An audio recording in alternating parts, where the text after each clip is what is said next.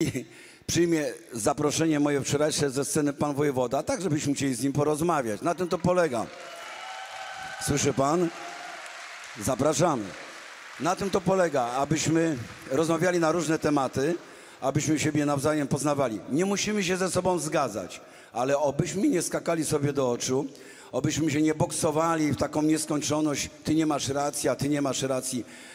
Tutaj się słucha, tutaj się poznaje najróżniejsze horyzonty ludzi, których tutaj zapraszamy. I to jest ogromna sztuka, która także pozostaje na naszym Facebooku. A więc oglądajcie, a więc patrzcie na to wszystko. A teraz uwaga, zaskoczę gościa z tą kamerą. E, zróbcie duże brawa, a będą to w Netflixie oglądali. Robią duży film o fundacji. Wow. No.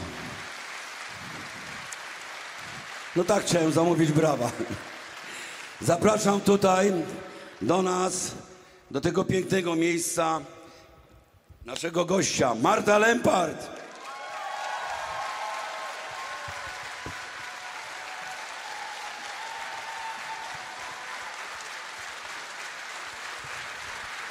Proszę bardzo, Marta, usiądź. Chyba na środku musisz usiąść. I prowadzące rozmowy, panie dwie, które już były u nas rok temu. Marta Klepka oraz Dorota Wellman.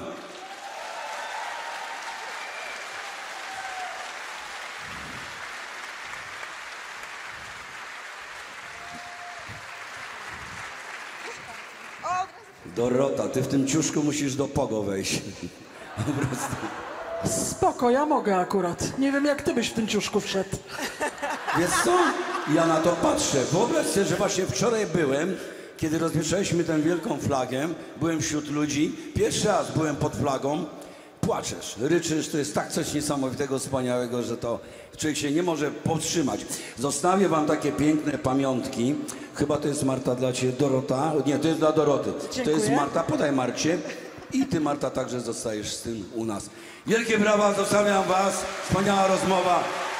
O czym będzie? O życiu, o kobietach, o nas, o napięciach, o miłościach. Niech o to wszystko przyleci. Dziękuję wspaniałej publiczności ASP. Super, jesteście super. Dziękuję bardzo. Zostawiam was. Dziękujemy, Jurek. Dziękujemy za zaproszenie, dziękujemy, że możemy być tu kolejny raz. E, Kochani, my w ramach projektu Być Kobietą on Tour, to jest projekt dla kobiet, ale też zapraszamy do tego projektu mężczyzn, żeby mogli nas poznać lepiej. E, Spotykamy się z ciekawymi ludźmi, spotykamy się, rozmawiamy to, co Jurek mówił. Dla nas najważniejszy jest dialog. Nie boimy się trudnych tematów, lubimy mówić o miłości, o przyjaźni, o pozytywnych emocjach. Cieszymy się, że Być Kobietą on Tour może tu być z Wami, blisko Was, bo Wasza energia też nam się udziela na cały przyszły rok. Dorota Bellman, z którą tworzę ten projekt, y, jest ze mną od kilku lat i nasz wspaniały gość, fantastyczna, niesamowita kobieta, pełna energii, charyzmy, która pociąga za sobą setki, Marta Lempart. Brawo dla Marty. a nawet gościni. Gościni nasza. I e, jak lubisz, jak cię przedstawiamy? Jedna z liderek ogólnopolskiego strajku kobiet. Dlaczego jedna z? No Bo nas jest bardzo dużo. Siedzą tam, proszę, mogę wywołać. Ewa, Kasia, Machajcie do nas teraz. Marzanka. Pokażcie się dziewczyny. Pokażcie się dziewczyny. Czyli mamy Kraków, Katowice, Wrocław. Gdzieś jest Magda też, ale nie widzę jej. Brawo dla Was. Na pewno. Czyli jeżeli zapytacie mnie o jakieś miasto w Polsce, to ja wam powiem, kto tam jest liderką strajku kobiet. Ile Oczywiście jest- nie o każde, ale Ile nas jest? Od jednej do sześciu milionów. Bo to wszystko zależy od tego, czy się organizujemy, czy mamy siłę, czy się coś dzieje, czy się nie dzieje. E, I wtedy, kiedy trzeba, e, to jest, to jest bardzo różnie. Fajnie by było, gdyby było tak, że mamy taką korpostrukturę, w której mamy 600 zidentyfikowanych jednostek, które się co tydzień meldują. U nas to tak nie działa. U nas każdy jest mile widziany i każda, i osoby działające są w sieci i działają albo nie, w zależności od tego, czy mają siłę, albo czy uważają, że to, co proponujemy, żeby zrobić i się tym zająć, że, że jest dostatecznie ważne. Zawsze mają wybór. Będziecie partią? Partia kobiet była już. No może, właśnie. może y, i tak średnio im wyszło, poza tym, że się rozebrały do goła. A, y, A ja bym się bardzo chętnie rozebrała. Ja marzę ja o tym, żeby tak jak... chcieli to oglądać. To ja też wtedy. Ja marzę o tym, słuchajcie, żeby zrobić taką burleskę, jak jest w Moulin Rouge. Tam, ta, pamiętacie tę strażniczkę? No, to ja marzę o czymś takim. A zupełnie przykład. poważnie? Poważnie. Czy ruch społeczny może się, czy chce się prze, przekształcić w partię? Ruch społeczny mówi nigdy w życiu za nic w świecie to będzie koniec oraz koniecznie bez tego nie ruszymy. To jest to, co mówi ten ruch społeczny, znaczy po jednej stronie i po drugiej, a po środku jest cała masa ludzi, którzy się zastanawiają. I tak było od początku. I to jest bardzo trudne. Oczywiście, no my się, wiecie, no my się wszystkie zbanowałyśmy na Facebooku, myślę, że po trzy razy już przez te pięć lat. E, dlatego, że właśnie utrzymanie tego jest bardzo trudne, żeby nikt nie wypadł dlatego, że jakaś większość o czymś zdecydowała. E, nawet w sprawie aborcji tak było, bo przecież przy pierwszych protestach część osób, która organizowała protesty, to były osoby, które były de facto zwolenniczkami tego zakazu, który wtedy był. Jeszcze nie były za legalną aborcją i były też osoby, które absolutnie uważały, że aborcja powinna być legalna. I trzeba było uszanować jedne i drugie, i stanowisko jednych i drugich, i trzeba było się dogadać, i trzeba było tego pilnować. I przy każdych wyborach musimy pilnować tego, że rozumiemy i ufamy sobie nawzajem na tyle, że jest dla nas naturalne, że ktoś głosuje na kogoś, ktoś na kogoś, ktoś na kogoś. To jest strasznie trudne. Łatwiej byłoby odciąć te brzegi, wszystkich do jednego szeregu, głosujemy na jedną partię, wierzymy w jedną rzecz i nikt się nie wychyla. No ale Taka tak partia, nie co działa. głosuje na jedno, to już jest, wystarczy. Marta, ale chciałobyśmy Cię zapytać, jak to było od początku. Czy Ty jako Marta Lempart, mając 7 lat, już byłaś taką aktywistką, już byłaś społecznicą, już zarządzałaś w klasie? Jak to się zaczęło? Skąd ta charyzma wyssana z mlekiem matki? Po mamusi. Po mamusi. Po mamusi. Znaczy, po pierwsze jestem wieczna przewodnicząca, to prawda.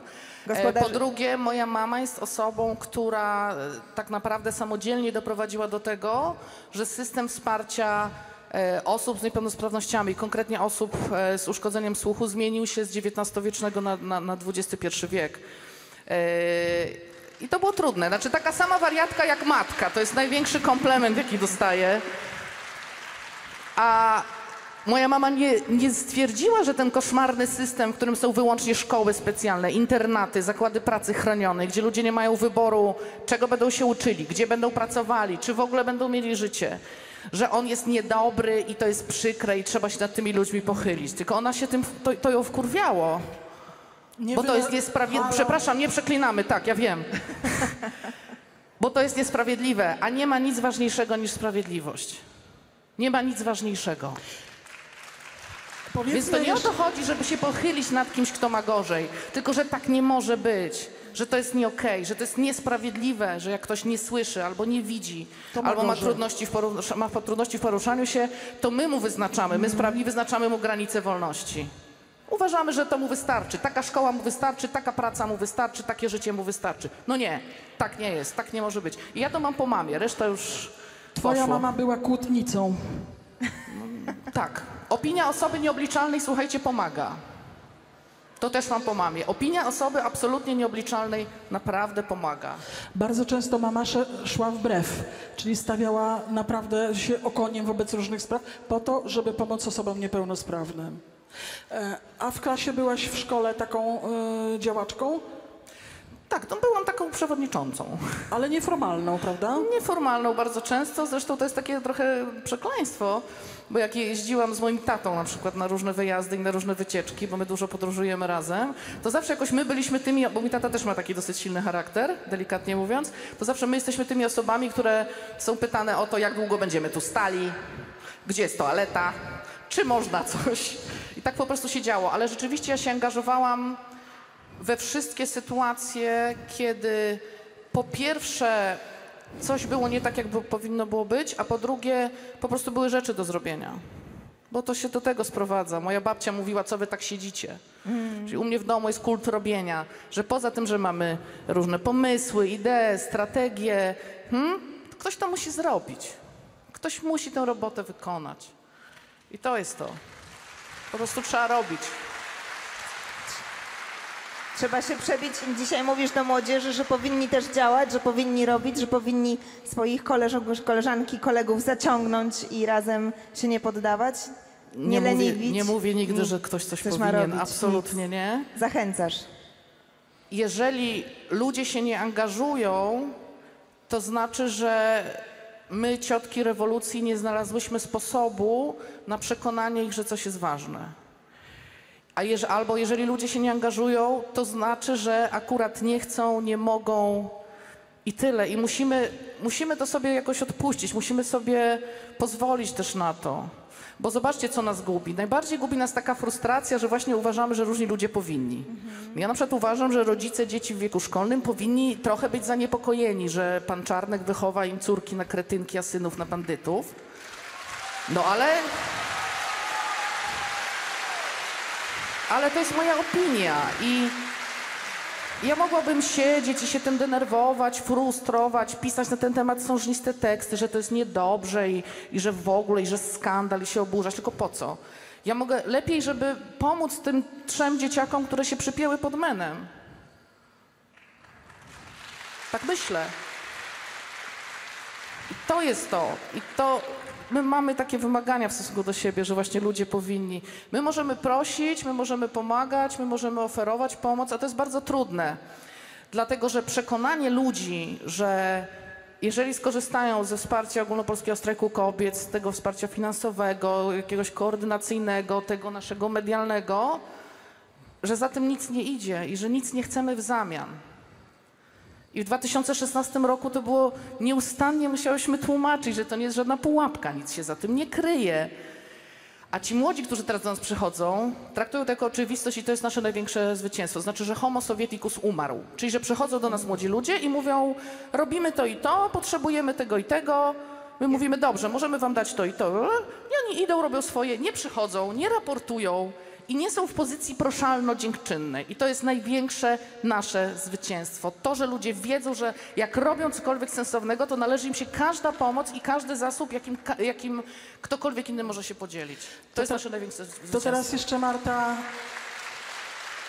wytłumaczmy, jak to jest z tym waszym życiem w luksusie. To dopiero jest śmieszne. E, Opływacie podobno w e, różne środki finansowe, przelewa wam się i wylewa i żyjecie lepiej niż inni.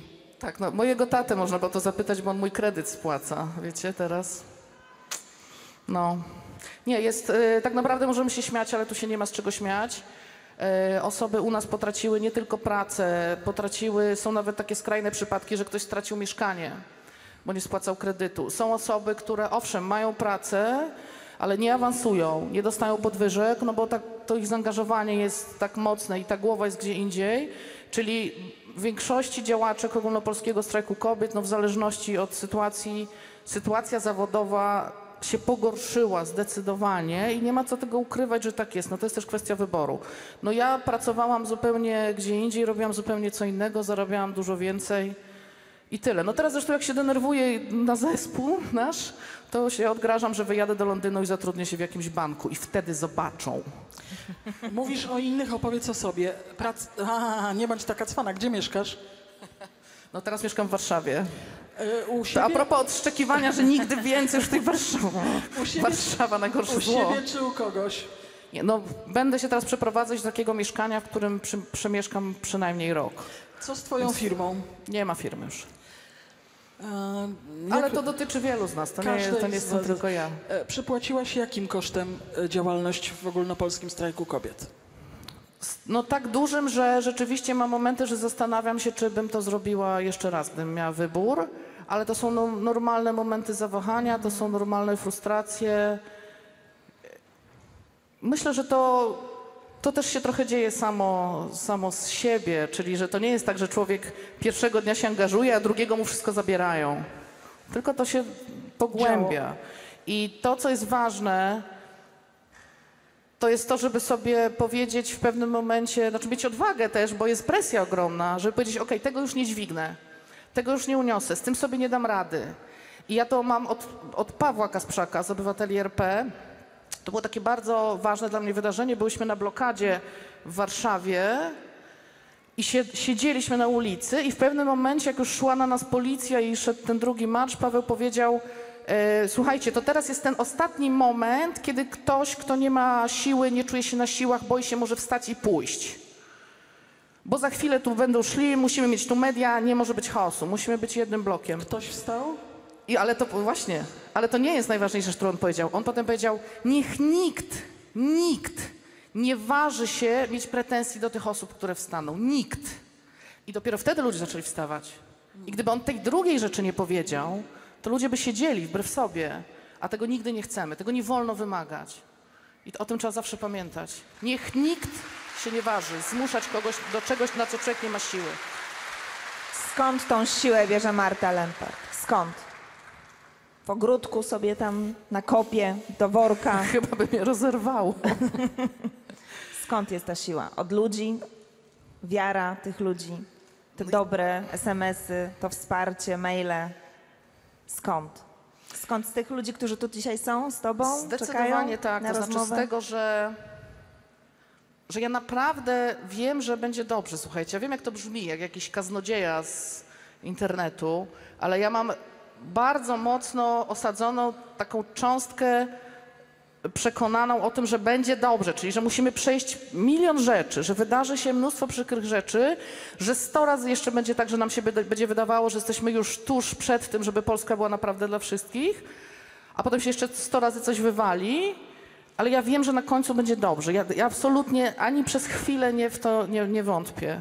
Tylko po prostu ta droga jakaś tam jest przed nami, nie jak na filmie, że ludzie wychodzą, y, władza jest niedobra, ktoś tam jest niedobry, sztandary, muzyka, najazd na niebo jest świetnie. To nie jest film. To nie jest film. 80% tego, co robimy, to w ogóle nie są sztandary na niebo. To są zupełnie inne rzeczy. To jest to, że właśnie budujemy sobie społeczeństwo obywatelskie. No i bardzo mnie trzyma nasze psychopogotowie i to, że korzystam z pomocy oczywiście psychologicznej. E, psychopogotowie to jest takie, takie forma wsparcia, którą mamy od zeszłego roku dla osób, które mają wypalenie aktywistyczne przede wszystkim, no ale też dla osób z PTSD. Dlatego, że bardzo dużo osób, które uczestniczą nawet w protestach, mają zespół stresu pourazowego, bo to niekoniecznie trzeba oberwać, żeby mieć e, ten zespół. Wystarczy być w sytuacji zagrożenia, czyli wystarczy tkwić gdzieś w jakimś kordonie, bać się tej policji, organizm po prostu to czuje i przetwarza. E, I ja korzystam z tej pomocy. Korzystają dziewczyny ze strajku z tej pomocy i myślę, że to nas uratowało, bo jakbyśmy były męską organizacją, to nikt nigdy by do żadnej pani nie poszedł. A my chodzimy, owszem, jesteśmy z tego dumne i to tak naprawdę te najsilniejsze, najmocniejsze, najbardziej wyraziste i się tego nie wstydzimy. I ja jestem z nas mega dumna, słuchajcie. Wspaniale, że to No. mówisz. Wspaniale. A ja z uporem maniaka powrócę do kosztów. Finansistką cię nazwiemy, słuchaj. Zdrowie się posypało, prawda? No, mam kręgosłup uszkodzony w kilkudziesięciu miejscach. E, Ostatni, naj, naj, najciekawszy, no, no, humor jako mechanizm obronny. Najciekawsza sytuacja ostatnia to było w marcu, kiedy pan policjant myślał, że ciągnąć mnie za rękę jest w stanie mnie przesunąć. A to jest tylko w kreskówkach, także ktoś kogoś ciągnie, wiecie, i tam to się nie da. No więc jest, rzeczywiście mam kłopoty z chodzeniem. Duże. Kręgosłup, co jeszcze? tak poza tym to. Znaczy, my- jesteśmy po covid ja jestem też po covid i mam różne powikłania pokowidowe i najgorsze właśnie jest to, że się męczę bardzo, czyli nie mam mowy o pracy 16 godzin na dobę. E, I to jest tak, że organizm mówi nie. Ja po prostu siadam i, i przestaję funkcjonować, odcinam mnie zupełnie. No ale może to jest dobrze. Może. Może te 16 godzin to nie jest tyle, ile powinno być. Jak ktoś jest pracocholikiem, to tak ma. Ja się leczę też na pracoholizm właśnie, więc sytuacja jest dosyć ciekawa, bo no to jest ten moment, w którym wielu ludzi, mm, znaczy w którym moje zdrowie i życie to jest poświęcenie, na które wiele osób jest godnych teraz. Uczysz się nic Jest nie gotowych. robienia? Uczysz się nic nie robienia? Mm, No, uczę się rozpoznawania właśnie takich mechanizmów, które doprowadzają mnie na skraj, bo już dwa razy usiłowałam, znaczy dwa razy doprowadziłam się do takiego stanu, gdzie to zagrażało bezpośrednio mojemu życiu. Średnio co 7 lat funduję sobie coś takiego i teraz e, groziło mi to na przełomie roku, że znowu się rozchoruję, że, że znowu będę próbowała się zapracować na śmierć. No ale teraz jestem, tak jak powtarzam, zachęcam, rekomenduję. W terapii, więc nie załatwiłam się trzeci raz. E, I słuchajcie, pracoholizm to jest choroba, która jest postrzegana jako coś chwalebnego. I to jest straszne, tak? Że to są takie osoby, które właśnie tak robią, e, zawsze można na nie liczyć. I to jest w ogóle takie, że jak ktoś tak się prawie właśnie tak zapracuje, aż padnie, Zawsze mają energię to jest chęć chwała, pomocy. duma i w ogóle. A to jest choroba, na którą się umiera. To jest choroba, na którą można umrzeć. E, I jeżeli widzicie osoby, które możecie podejrzewać albo sami u siebie widzicie coś takiego, to też naprawdę zalecam, bo to nie jest kwestia nawet tego, żeby pracować mniej, tylko żeby zmienić sobie trochę w głowie i żeby siebie oszczędzać na tyle, żeby móc pracować dłużej i z większą przyjemnością. Ile razy chciałaś to rzucić w cholerę jasną? O, O, Raz w tygodniu? no mówię, no raz w tygodniu i dziennie? wyjeżdżam do Londynu i zatrudniam się w jakimś banku, no. E, Momenty kryzysu takie poważne miałam, e, myślę, że dwa albo trzy. Bardzo pamiętam moment głosowania nad projektem Ratujmy Kobiety, kiedy opozycja dała dupy, znaczy dała się wpuścić PiSowi i to z jednej strony to było, no ale oni w ogóle są wiadomo jacy, ale to był naprawdę niedobry moment, bo to nie wymagało od nich dużo naprawdę, żeby zagłosować za, za tym, że przynajmniej projekt poszedł dalej do komisji. Ale jednocześnie z tym się zbiegła presja, bo ja wiedziałam, my, my byłyśmy jedynym fanpage'em, który w ogóle relacjonował to, co się w Sejmie działo, że my teraz coś trzeba ludziom powiedzieć i że to jest dokładnie, że mam trzy minuty na to, żeby wymyślić coś, co spowoduje, że ta strata, to, co się teraz wydarzyło, nie będzie nieodwracalne że ludzie się nie poddadzą, że to ich nie tąpnie. I wtedy mi się przypomniała taka sytuacja, która się często zdarza, kiedy policja mówi tam przez te swoje uwaga, uwaga, tu policja, a my mówimy uwaga, uwaga, tu obywatele, uwaga, uwaga, tu obywatelki. I o tym wtedy napisałam i o tym mówiłyśmy, że no dobra, no Sejm to Sejm, politycy to politycy, ale to i tak się sprowadza do nas i my cały czas jesteśmy i będziemy. Ale to był strasznie trudny moment, bo no właśnie jeszcze była ta presja, że mamy trzy minuty, żeby powiedzieć coś tym ludziom, którym opadło wtedy wszystko. Po prostu się, no był taki moment, że się wydawało, że osoby się, e, że osoby się poddadzą. Drugi moment był, kiedy się zakończyła ta straszna, znaczy z naszego punktu widzenia, zakończyła się walka o sądy. Czyli już były te kolejne, potem weto, potem znowu projekt, potem demonstracje, potem przeciągania i już się wydawało, że Sąd Najwyższy jest załatwiony i że już w ogóle wszystko jest załatwione. I wtedy przyszła wiadomość o postanowieniu TSUE, że wreszcie się zaczął Europejski Trybunał Sprawiedliwości zajmować, zresztą wspaniałe wolne sądy nasze, że, że, że tam ruszyło. I że nagle tu się otworzyły jakieś takie drzwi, tu się nam już zamknęło, już jesteśmy w tunelu, więcej nie możemy zrobić, a tam się nagle otworzyło i tam się zaczęło dziać i to się zbiegło w czasie. Także to też jest kwestia szczęścia. Ja uważam, że ja w ogóle mam szczęście. Znaczy ja rzeczywiście mam sytuacje bardzo często takie, kiedy wydaje się, że już się nic nie uda i że już nie ma wyjścia, a zawsze się znajdzie ktoś, kto pomoże, zawsze się coś właśnie wydarzy, zbiegnie w czasie tak dobrze. Moja koleżanka mówi, że jak mnie się wywali z łodzi na środku oceanu, to dopłynę do brzegu na rekinie. Że to jest takie coś mniej więcej, ale ja mam szczęście. Ja trafiam na ludzi, którzy się znajdują, wiecie, gdzieś.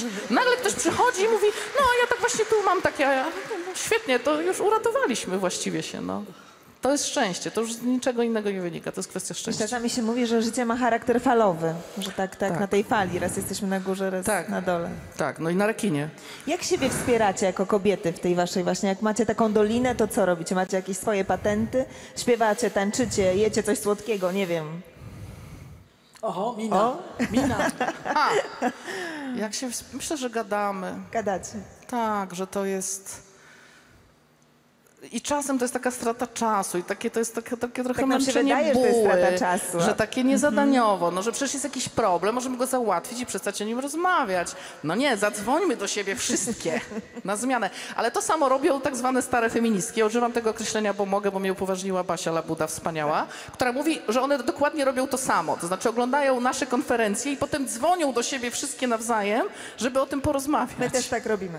No, to jest, to jest świetne. Chociaż to z takiej perspektywy efektywności działania, no to to jest trochę strata czasu, no bo tam jedna do Mężczyźni drugiej, tak nie robią, do a trzeciej. powinni czasami Ja pogadać. myślę, że oni też plotkują. Widzieliście, co się działo na szczycie NATO przecież, prezydenci. Okazało się, że nie rozmawiają o przyszłości świata, tylko obgadują Trumpa, no. Kiedy się narodziła, e, narodził e, ogólnopolski strajk kobiet przed e, postanowieniem czarnego protestu? Narodził się jako ruch przy drugiej rundzie protestu w 2016 roku, bo to było tak, że kiedy szedł zakaz aborcji przez Sejm, ja wezwałam we Wrocławiu do tego, żeby zrobić czarny poniedziałek, wyznaczyłam tą datę na 3 października. W tydzień się zorganizowałyśmy, chociaż nikt w to nie wierzył, żadna poważna organizacja, żadne media najpierw i w ogóle nikt e, przez pierwsze parę dni. Ale, i to było, ale to było zwycięstwo, czyli to był proces, który się odbył w 150 miastach. Zorganizowali się ludzie z pomocą naszą, z pomocą wzajemną.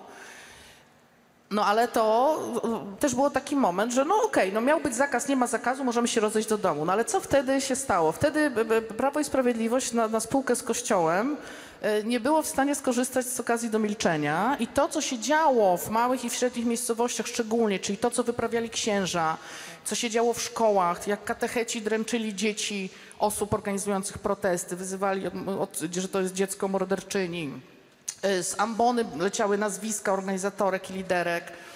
To był horror. Oni po prostu nie byli w stanie, wiecie, tej porażki w jakikolwiek sposób udźwignąć. I dlatego 24 października, czyli zaledwie trzy tygodnie po tym pierwszym proteście, odbyła się druga runda, w której też wzięło udział 100 miast. I to już był moment, w którym było wypowiedzenie posłuszeństwa. I wtedy stałyśmy się ruchem, bo ludzie powiedzieli, okej, no jak wy tak, to my tak, to my już zostajemy, to my już, nam już chodzi teraz o wszystko. E, także bardzo serdecznie dziękuję episkopatowi, oni w ogóle nam bardzo pomagają e, w takich w różnych sytuacjach. I to był, dzięki temu stałyśmy się ruchem. Dzięki temu, że oni nie byli w stanie tej porażki przełknąć i że sięgnęli po obrzydliwe, absolutnie obrzydliwe zachowania, właśnie to szczucie z ambon, szczucie w szkołach, to było obrzydliwe po prostu, co wyprawiali i ludzie się przeciwko temu zbuntowali na dobre. Czyli dziewczyny, które z tym poczuciem zwycięstwa, że zatrzymały zakaz aborcji, niech zostanie tak jak jest, wróciłyby do domu już by się w ogóle nie angażowały, powiedziały, dobra, teraz to już, to ja już teraz z wami potańczę. To ja już z wami dziękuję, ja już mam was potąd. Tak to się zaczęło. Możesz teraz, Marta, powiedzieć, jakie są podstawowe założenia ogólnopolskiego strajku kobiet, tym, którzy nie wiedzą? Podstawowe postulaty. O. Tak. 22 czy mniej? Nie. Mamy cztery grupy postulatów. E, Pierwszy dotyczy tak zwanych praw reprodukcyjnych. Wiem, jak to brzmi, ale to jest legalna aborcja oczywiście i wszystko, co się z tym wiąże. E, Dostęp do antykoncepcji, dostęp do antykoncepcji awaryjnej, e, no, dostęp do procedury in vitro, ochrona przed przemocą, czyli wdrożenie konwencji antyprzemocowej, która jak wiemy jest zagrożona, no bo mm, państwo polskie chce zalegalizować przemoc na wzór kremlowski, już jest projekt przecież ministerialny. Sytuacja ekonomiczna kobiet to, że mniej zarabiamy, e, mamy niższe emerytury, to my się opiekujemy osobami z niepełnosprawnościami. No tak jest. Tak jest. No i świeckie państwo. I świeckie państwo, czyli to, że chciałybyśmy na przykład, że jak ktoś jest lekarzem, to żeby jego prywatne wyobrażenia na jakikolwiek temat nie były ważniejsze od naszych praw jako pacjentek, bo jesteśmy ludźmi. I Ja po prostu nie jestem w stanie tego zrozumieć, że to, że ktoś ma jakieś wyobrażenia na jakikolwiek temat, zwalnia go z wykonywania jego pracy. Uważam, że to nie jest cywilizowany kraj, w którym coś, czyli tak zwana klauzula sumienia, czyli klauzula wyższości przekonań religijnych lekarzy nad prawami pacjentek i w ogóle nad pacjentkami. E, I powiem wam, że to się że to się dzieje, to też trochę samo, ale ja się z przyjemnością przyglądam, bo my tak naprawdę nie musimy nic robić. To się samo dzieje, czyli w 2018, kiedy był Czarny Piątek, no bo znowu był zakaz aborcji na stole, e, 30% transparentów dotyczyło tego, że panowie biskupi już powinni przestać. Teraz 2020, no to w ogóle był zbiorowy bunt przeciwko temu, co oni wyprawiają. Także serdecznie myślę, że możemy im też poza tym, że są koszmarni i powinni siedzieć w większości w więzieniu, to, to możemy im podziękować. To możemy im podziękować, bo Polska jest najszybciej laicyzującym się krajem w Europie. Także ja jestem zachwycona. Patrzenie na ten upadek sprawia mi wielką przyjemność. No tak. Nie, no dajcie sobie, każdy ma w sobie taką czarną cząstkę, no nie mówcie, że nie, no. To jest czarna cząstka się odzywa. Trochę. Ja sama jak chodziłam na te protesty, to miałam emocje sięgające zenitu. Nie wierzyłam też, że tyle młodych ludzi jest wokół mnie. Byłam zachwycona ich postawą. E, Rozmawiałyśmy z Dorotą zresztą, która też uczestniczyła w tych protestach, o tej energii, która tam, która tam jest. Co, co dalej? Co robimy dalej z tą energią? Jakie są szykujemy się- wasze, jakie wasze plany? Kiedy mamy być jeszcze bardziej gotowe? Szykujemy się na Gotowi, wrzesień, bo paździer- gotowi, mi się bardzo podobało to, że mężczyźni byli też tam z nami i że dużą rolę początku. odegrali. Tak, Mężczyźni są z nami od początku, mężczyźni. słuchajcie. I to też jest tak. Ojcowie z córkami, to było piękne. Ale to jest też kwestia robienia rzeczy. W małych i w średnich miejscowościach te same osoby robią prawa kobiet, walczą o wolne sądy, sprzeciwiają się wycince puszczy i robią całą masę innych rzeczy. I to jest ta dyżur, dyżurna wycieczka aktywistyczna i to jest świetne. Także faceci są z nami od początku. Owszem, no mamy takie zasady, miałyśmy to na przykład we Wrocławiu, ale też w wielu innych miastach, że w pierwszym rzędzie ban z banerem idą zawsze dziewczyny. Bo panowie już sobie 2000 pochodzili w pierwszym rzędzie, 2000 lat, to teraz mogą po, trochę postać w drugim. Ale są z nami faceci, którzy to rozumieją i męskie wsparcie strajku kobiet to jest coś, co istnieje tak naprawdę od 2016 roku. Natomiast co do tej młodzieży, my mieliśmy takie uwagi, bo- to, wiecie, jak jest taki Facebookowy Instytut Nadzoru Intelektualnego. Taka, taka, takie coś, co się ocenia, co się wydarzyło.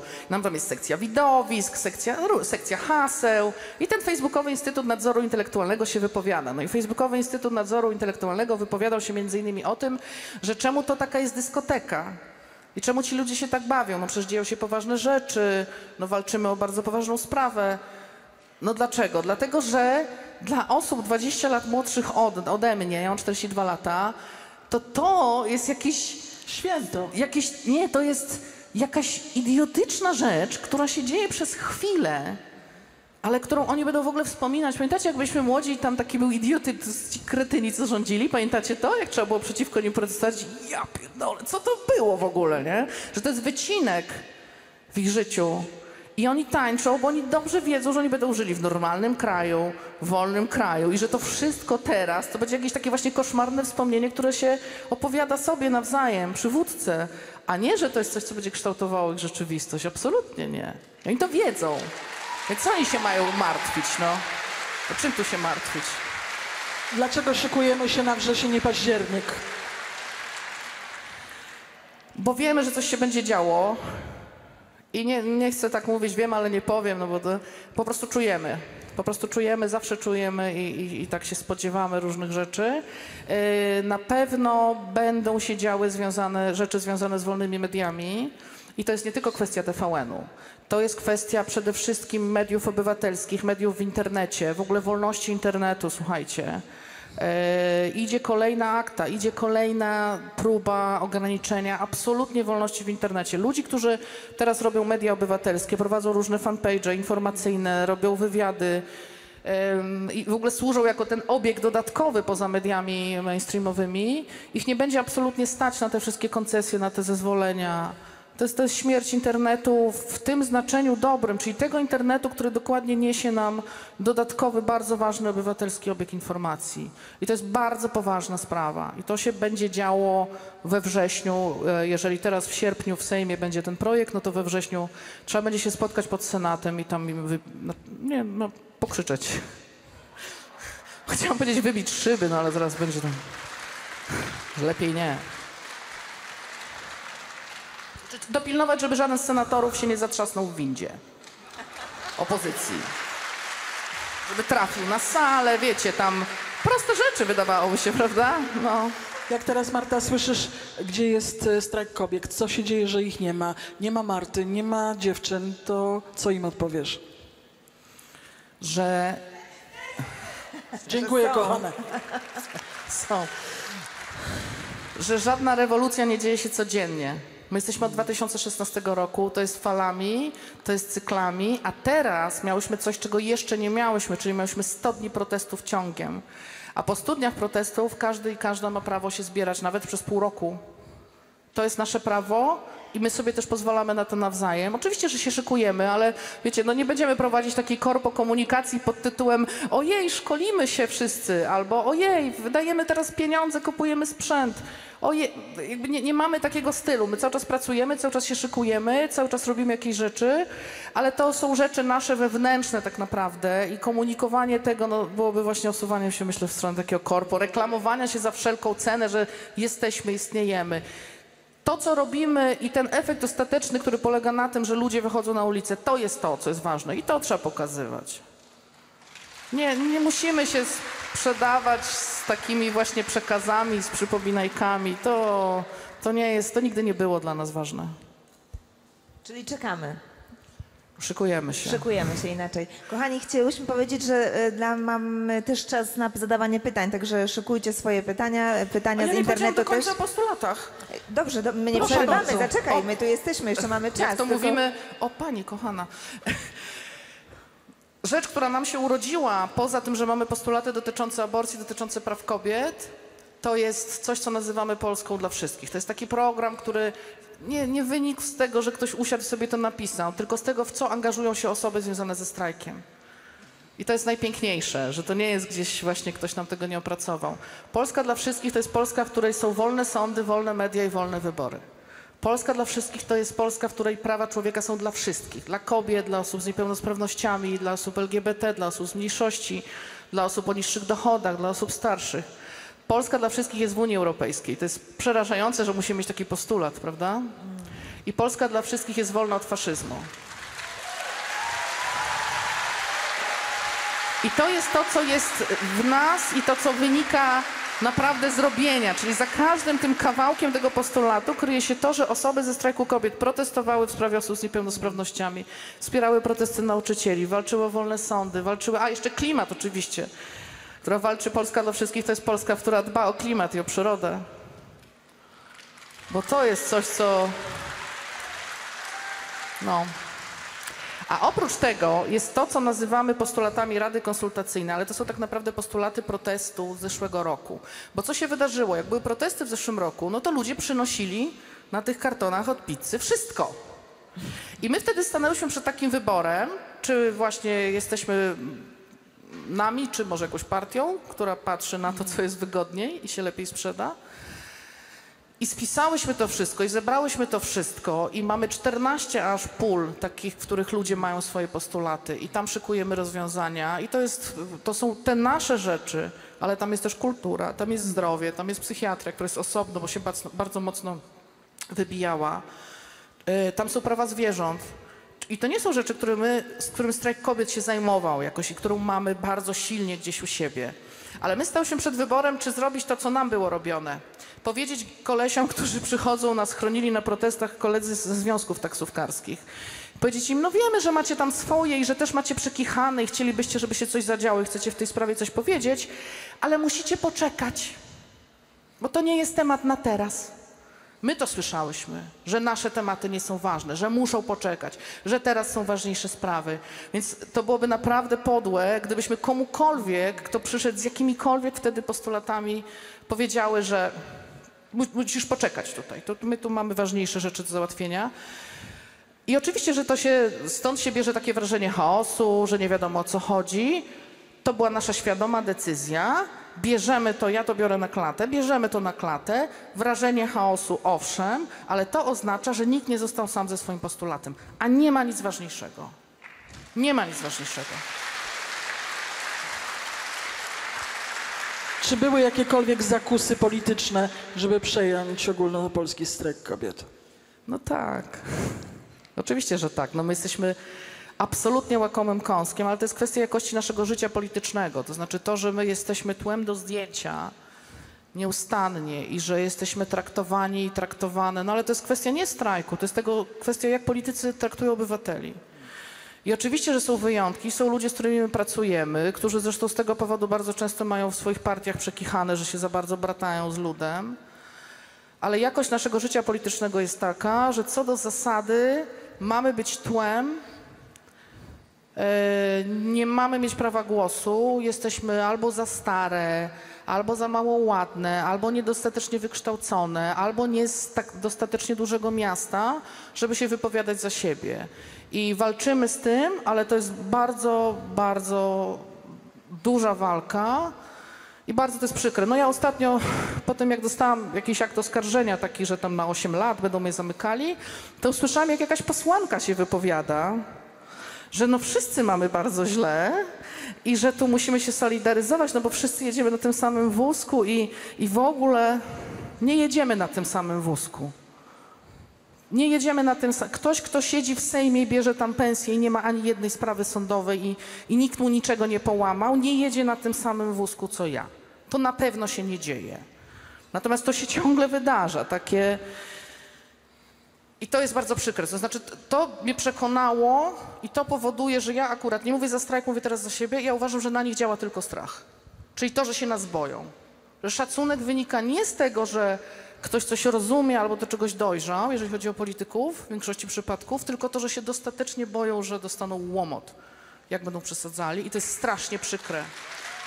Bo ja nie chcę żyć w takim kraju i ja pracowałam w Ministerstwie Pracy, pracowałam w Pefronie, chodziłam, wiecie, do Sejmu. Ja jestem legislatorką. Ja nie chcę żyć w takiej Polsce, w której politycy się tak zachowują. I to możemy się z tego śmiać, możemy się na to gniewać, ale to jest zapaść kontaktu między obywatelami a, e, a politykami. Zresztą 28% wyborców PiSu nas popiera z tego powodu, że są my i oni, że jest jakiś establishment. Są tacy ludzie, którzy uważają, że naprawdę jesteśmy mięsem, że jesteśmy tłem do zdjęcia. I to się musi zmienić. Znaczy, możemy sobie nowe partie powoływać, możemy mieć kolejnych wodzów, ktoś będzie tam coś ogłaszał i będzie bardzo pięknie. Dopóki nie będzie tak, jak na przykład jest w Argentynie, ja mówię w tej wersji komunikacyjnej, że każdy deputowany ma psi obowiązek odpowiedzieć na pytanie, jak będzie głosował. Marta, a z I to jest publiczne. A u nas nie, u nas się nie dowiesz, u nas ci nie rozmawiać? powiedzą. Dlaczego oni się boją rozmawiać? Bo nas pogardzają nami. Dlaczego oni nie szanują ludzi? Nie wiem dlaczego. Nie chcą Bo jesteśmy za mało ładne, niedostatecznie wykształcone, nieładnie mówimy. To myśmy ich wybrali. Stop. Tak, no właśnie. To jest nasza wina. Wybraliśmy sobie takich, których uważamy za lepszych od siebie. Następnym razem wybierajmy sensownie. Nie pierwsze nazwisko na liście. Nie byle kto. Nie No właśnie, bo ja o tym chciałam. telewizji. Właśnie o tym chciałam powiedzieć. Patrzcie na szóste, piąte, siódme, dziesiąte miejsca. Tam lądują bardzo często karnie politycy, którzy robią, którzy robią swoją robotę w Sejmie, którzy nam pomagają, którzy są uczciwi. Ja pamiętam taką sytuację, już go wymienię, dobra, niech mu będzie. Pamiętam taką sytuację, kiedy były protesty pod Senatem e, w obronie wolnych sądów i wychodził do nas senator Bogdan Klich i mówił, co tam się będzie w środku mówił, co się w środku dzieje, dlaczego to jest ważne, żebyśmy tam byli. Czyli był takim naszym łącznikiem z tym, co się działo w środku i też mieliśmy właśnie takie poczucie, że mamy kontrolę, wiemy, co kiedy będzie się działo. Ten protest trwał kilkanaście godzin.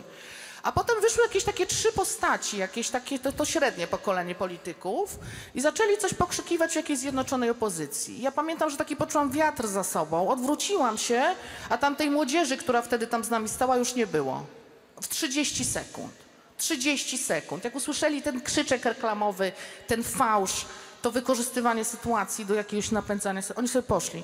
I takich, tacy ludzie są na pierwszych miejscach na listach, niestety. Więc patrzcie na piąte, szóste, siódme miejsca, bo naprawdę tam są wartościowi ludzie. A moim marzeniem jest to, żeby każda partia i każdy szef w każdej partii bał się nas na tyle, żeby on tego przysłowiowego klicha przesuwał tam gdzie, tam, gdzie jego miejsce rzeczywiście jest, czyli żeby ci fajni politycy, którzy robią rzeczy, którzy są uczciwi, którzy nie wykorzystują sytuacji, żeby byli promowani przez swoje własne partie, bo to się teraz nie dzieje. To się nie liczy teraz. Skoro o marzeniach mówisz, to jaka jest ta Polska twoich marzeń? A to już powiedziałam. Powtórz. Polska moich marzeń jest dla wszystkich. Naprawdę dla wszystkich. Ja mam ogromny problem. Znaczy nie, no może nie mam problemu. Ja i tak mam w miarę łatwo, wiecie, bo ja mam oczywiście w rodzinie osoby, które głosują na PiS. I to, są, to jest moja bliska rodzina, to są takie moje ukochane osoby. Yy, I my na szczęście, ale wiem, że to jest raczej wyjątek. Siadamy przy jednym stole, bawimy się, rozmawiamy, jesteśmy absolutnie wobec siebie lojalni. To znaczy, jakby niezależnie od tego właśnie, czy, czy, czy moi wujkowie, czy, czy inna rodzina staną za mną, żeby nie wiem co, mimo tego, że oglądają TVP, ale ja myślę, że to jest szczęśliwy wyjątek u mnie i to jest coś, czego nie wolno PiSowi darować. Że przy tym stole tak trudno usiąść. Bo takich rodzin jak moja jest myślę, że mało. No my się bardzo kochamy, ale wiem, że bardzo jest dużo sytuacji, kiedy ludzie tego jednego stołu nie siadają i tego im nie wolno darować, że tak nam zrobili. Bo przecież my jesteśmy rodzinami, kochamy się, znamy, to jest ważne. A nagle się okazuje, że polityka nas no, tak załatwiła, nie? Jesteś propaństwowcem? Zdecydowanie. Ja najbardziej lubiłam pracować w Ministerstwie Pracy, słuchajcie, no. Byłaś Ja dyrektorem wiem, że nawet. nikt w tym... Jest z zawodu Pani dyrektorem. dyrektor z zawodu. To było coś pięknego, wiecie. E, Ja wiem, jak to brzmi, ale rzeczywiście uwielbiałam tę pracę. Ja dużo robiłam takiej pracy legislacyjnej. Ja jestem współautorką między innymi ustawy o języku migowym. Z E, wykształcenia z wykształ- No niestety, no ja wiem. No cóż, także mogę robić cokolwiek, bo i tak nic nie umiem. Wszędzie się muszę nauczyć od początku. Chodzenie do Sejmu z całym, z tym wszystkim, co się działo, no wiadomo, nigdy nie było idealnie, ale zawsze było tak. I to były krótkie momenty, zwłaszcza my, ci urzędnicy różni rządowi, którzy gdzieś tam musieli kwitnąć, albo przy głosowaniu, albo w ogóle gdzieś na komisji czy na plenarce, był taki moment, że widać było, że wszyscy sobie zdają sprawę z tego, gdzie są. Czyli, że zdajemy sobie sprawę, że jesteśmy w miejscu, które było przed nami, będzie po nas i że, że jak ten respekt, którego no, część osób nie jest w stanie odczuć, jednak gdzieś tam każdego dopadał i to były niesamowite momenty. I to było, to się działo. Teraz to się już nie dzieje. To już, to, to już nam też zabrali i tego też im nie wolno darować. Bo Sejm już nie jest Sejmem i parlament nie jest parlamentem. Na szczęście jest ten Senat, no ale z nim wiadomo, tam te windy tak źle działają, że można zwątpić. A ja to, to, to uczucie i to wzruszenie z tego, że, z tego, że ludzie się, wiecie, czasem gdzieś tam uśmiechają, no dobra, tu się o coś pokłóciliśmy, ktoś się z kimś nie zgodził, ale już jest, już jest zagłosowane, już jest uchwalone i dobra, idziemy, idziemy dalej, robimy rzeczy, bo to też jest robienie rzeczy, tam też się robi rzeczy i, i niesamowite te zespoły legislatorów sejmowych i senackich, którzy po bardzo grzecznie, aczkolwiek stanowczo byli w stanie każdemu posłowi, każdemu urzędnikowi powiedzieć, że świetny pomysł, tylko że on jest zupełnie zły. To było naprawdę coś. A teraz tego nie ma i to się musi zacząć dziać znowu. Znaczy musimy sobie tak zrobić, żeby ten parlament był parlamentem takim fachowym, profesjonalnym, gdzie się robi rzeczy. To też jest takie zadanie. Nie odpuszczać, nie możemy tego odpuścić, nie możemy tego traktować jako czegoś, co jest stracone i to już tak zawsze będzie. Nie, nie może tak być. Nie może tak być. Marta, zawierzyło ci... Brawa, brawa, oczywiście. Zawierzyły ci setki tysięcy ludzi. Czujesz tą odpowiedzialność na swoich barkach każdego dnia? Czy, czy są Trochę czuję, ale też mam to przepracowane. To znaczy, że wiem, że ludzie zawierzyli misiowi zakopiańskiemu i że ja też.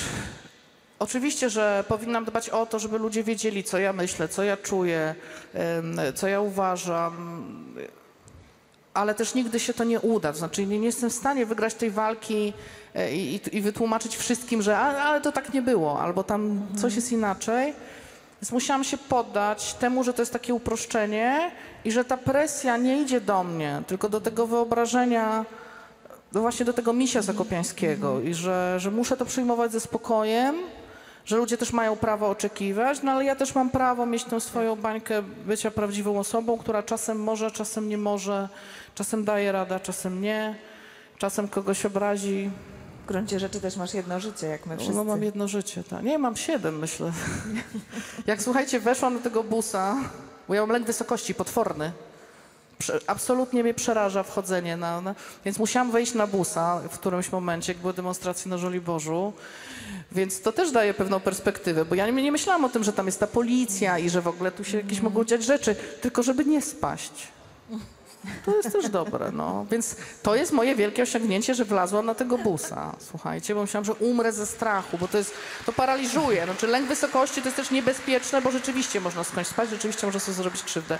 Więc pokonywanie takich rzeczy myślę, że jest, e, że jest ważne, a to jest coś, co już tego nikt nie widzi w Misiu Zakopiańskim, no bo Miś Zakopiański jest dyżurny, wchodzi, robi, jakby nic za tym więcej się, się Stoi, nie kryje. przytula, uśmiecha się Tak. jest. No ale to też jest taka rola i też nie ma tu, "Ech, ta sława to mnie zabija.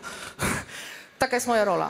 Skoro to się tak dzieje i ja jestem tą osobą, która tę rolę pełni, bo tak ludziom pasuje, to niech tak będzie. To ja ją będę pełnić najlepiej, jak będę umiała. Też nie ma co tutaj się roz- użalać nad sobą, no nie przesadzajmy.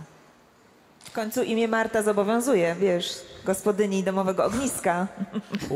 No, kochana. No, no ja nie. Ja nie. Możesz potraktować, wiesz, nas, kobiety, jako to domowe ognisko, które masz rozpalać ten Mogę, ogień ale to my raczej mamy, raczej mamy tak, tak zwaną matkę przełożoną, czyli Agnieszkę Czerderecką, którą na pewno część z was zna i która właśnie jest w biurze tą naszym, naszej siedzibie, tą matką przełożoną, która dba, żeby rzeczywiście było, żeby było fajnie. I to, co jest naszym wielkim sukcesem, to jest to, że rzeczywiście przychodzą do nas osoby, porobić sobie rzeczy, pospotykać się, niekoniecznie z nami. I to jest super. To jest super, bo to znaczy, że rzeczywiście oni wiedzą, że my nic nie będziemy chcieć w zamian, że to jest miejsce otwarte dla nich, a to się rzadko udaje tak naprawdę. Jak słyszysz o sobie e, wulgarna baba, krzykaczka, zamiast trybunka ludowa i jeszcze w dodatku lesbijka, wszystko naraz się nazbierało, to co czujesz? Są tacy ludzie, którzy jakby mnie lubili, to byłby wstyd przed rodziną. Czyli wiecie, jakby... Jakby taka Magdalena Ogórek miała o mnie dobre zdanie, to ja nie wiem, jak ja bym się w domu pokazała. Myślę, że nie, niekoniecznie. Eee, no bardzo dużo jest takich przytyków. No jeden z do, bardziej dowcipnych to jest taki mem, Lesbijka, która walczy o aborcję, żeby usunąć dziecko z in vitro. Więc wygląda na to, że tak jak faszyści zwykle oni jakoś tam czwórkami chyba chodzą, tak? Każdy ma pół kulki, dwie się muszą kulki zderzyć, żeby powstała myśl. No to widać, że się zebrało więcej i wymyślili to, nie? To jest coś. E, bardzo dużo jest takich uwag dotyczących tego, że jestem gruba. Tak bym była jedyną grubą osobą na świecie. Jest nas dwie, wiesz o tym. W ogóle? Wy? Ja jeszcze w różowym to pogłębia stan. Nie. Kiedy powiedziałaś rodzicom, e, że wolisz kobiety? Mm, jak miałam 20 lat. Późno. Czyli byłam rok, tak, późno, późno. Ja w ogóle, wiecie, ja jestem z tego pokolenia, co usiłowało normalnie robić. Także ojej, ojej. Znaczy w liceum się usiłowałam umawiać, wiecie, z jakimiś chłopakami. To w ogóle było jakieś takie dosyć straszne, no, bo to mnie nie interesuje. No, ale nie byłam właśnie, jeszcze nie było tak jak teraz. Znaczy teraz jest strasznie, ale też jest, jest jednak w ludziach świadomość, że można inaczej. I raczej jest kwestia tego, że bardzo ciężko jest, kiedy jest inaczej. No ale ja na przykład w ogóle nie miałam takich podejrzeń co do siebie, tylko próbowałam wejść w ten model właśnie tam z chłopakami. To, to były Normalnie, takie porażki, słuchajcie, że to się na jakiś osobny podcast w ogóle nadaje. Nie róbcie tego. A rodzice zareagowali jak? Yy, tak jak zwykle to się dzieje, w, yy, znaczy jeszcze w moim pokoleniu powiedzmy, czyli niby okej, ale długo się oswajali, czyli rok trwało mniej więcej oswajanie się, czyli ten taki trochę, coś co ja nazywam takim trochę polskim modelem, że wiemy, ale, udaje- nie ma powodu, żeby o tym rozmawiać za dużo, bo to nam jednak robi przykrość. Yy, ale to jest normalne i ani ja nie mam pretensji do moich rodziców, ani myślę, że oni się nie, e, jakoś nie czują z tym, że tam o tym opowiadam. No bo rzeczywiście tak było, że ten pierwszy rok był ciężki, no i dobra, no, ale ważne jest to, co jest teraz. A o wnukach padło pytanie? Ale ja nie chcę mieć dzieci. Ja wiem, że nie chcesz, ale czy oni Ale pytali? to ja bym e, nie chciała mieć niezależnie od orientacji. Myślę, że oni wiedzieli, że ja nie chcę mieć dzieci. To znaczy, to tak mocno dosyć wynikało z tego, jaką jestem osobą. Ja nigdy jakoś nie miałam szczególnie słabości do dzieci, w tym sensie, że nie miałam tego takiego, że tam pisk na widok wózka. Więc jakoś tego tematu bardzo nie było. My, my też jest tak, że ja mam bardzo dużą rodzinę, szczególnie mój tata ma dużą rodzinę, ma braci, ja mam kuzynów, ci kuzyni mają dzieci, więc się tak kotujemy w takich stadach wielkich. Uzupełniacie się. Uzupełniamy się, tak, to jest to, jest to zdecydowanie. Mam groźnych kuzynów, także uważajcie. Górem za mną wszyscy, a to górale są. przyszły do nas pytania internetu. Teraz Dorotko, czy Proszę. nie chciałabym Cię wchodzić w Mamy paradę? teraz, proszę Państwa, 30 minut na Wasze pytania. One są dla nas bardzo ważne, więc serdecznie zapraszamy do bezpośredniej rozmowy z Martą. Najpierw pytania z internetu. Dajesz. Mikrofon już jest tam przygotowywany. Stojak. Paulina. Paulino, dziękujemy Ci za pytanie. Pani Marto, dziękuję, że wyciągnęła mnie Pani na ulicę. Co by Pani powiedziała tym wszystkim, którzy wciąż uważają, że te wszystkie działania ich nie dotyczą?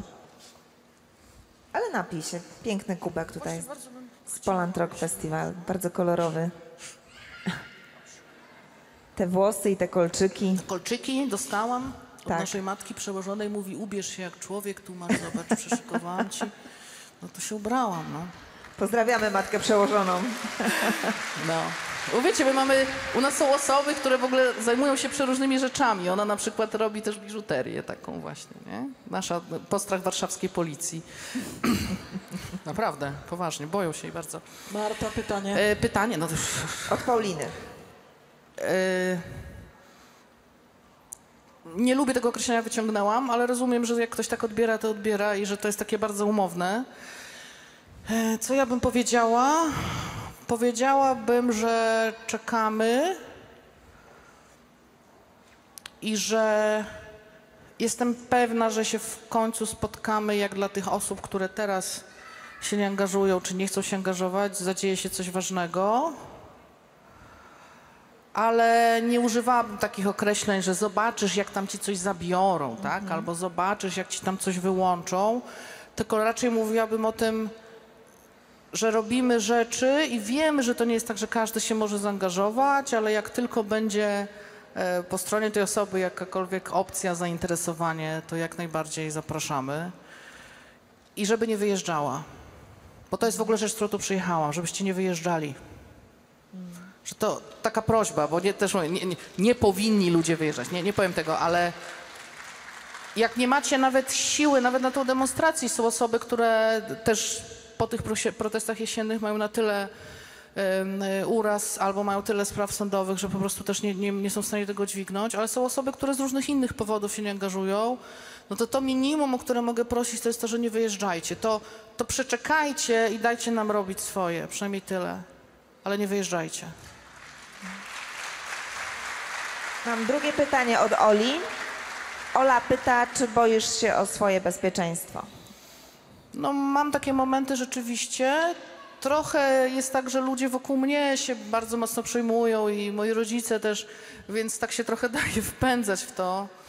E, To tak jest trochę nierealne, no bo raczej człowiek sobie nie wyobraża, że mu się coś stanie. No ale tych sygnałów o tym, że może się coś złego zadziać jest bardzo dużo, to się też momentami bardzo nasila. Em, No a też jest taka sytuacja, że kiedy my nawet zgłaszamy te różne rzeczy, które się dzieją, czy to co, te informacje, które przychodzą, czy pogróżki, to policja niekoniecznie jakoś się przejmuje tym. Więc momentami tak, ale raczej się tak opędzam od tego, no bo też nie można się, nie, nie można cały czas o tym myśleć, nie można się na tym skupiać. Jakieś tam środki bezpieczeństwa no, musimy mieć i ja muszę mieć i, to- i, i to jest część tej roboty. Chociaż rzeczywiście granica mi się przesunęła, bo jak organizacje różne zaprzyjaźnione z nami dostały informacje w marcu o tym, że są bomby u nich po, położone, podłożone w biurach, no to oni to zgłosili na policję, poszli z tym do mediów, no i w ogóle się zaczęło dziać, a ja miałam takie... Dzień jak co dzień. I to, to ich reakcja była prawidłowa, nie moja. Znaczy, to, to, to ja coś już mi się trochę poprzesuwało i to, to nie powinno być częścią tej roboty. No ale trzeba robić swoje. Wiadomo, że co się ma stać, też się stanie.